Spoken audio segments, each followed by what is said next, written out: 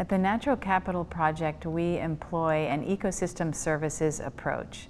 And to us, that has three key elements. And the first one is to build a body of evidence that really just is a proof, a proof case that natural capital information can be readily employed in decisions and it changes the way people think about development and conservation objectives.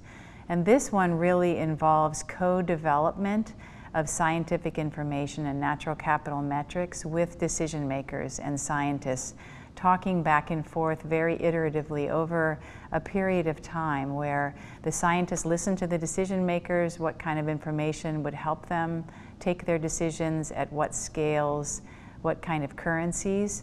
And then the scientists produce information, sometimes develop new methods that they never would have thought of needing before. And then there's a lot of back and forth with presenting information, ways to visualize it. And that co-creation of that information is what's the really fun part of that first step. It takes longer than a standard science research project might take, but it's been fascinating for our scientists to see how incredibly in interesting and innovative those science questions are that come through those deep discussions with decision makers. So that's the first one, building the use cases to show that this is a possible approach and it really does transform decisions.